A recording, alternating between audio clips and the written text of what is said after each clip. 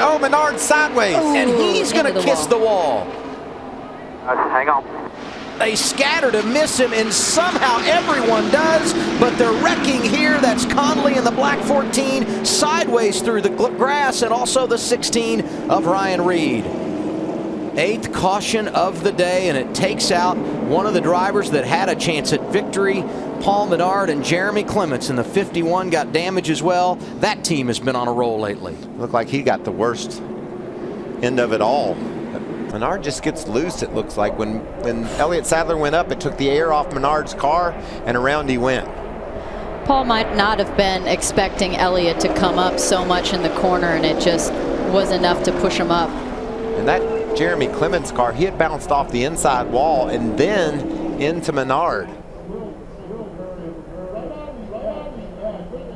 Watch the 51 car of Clements.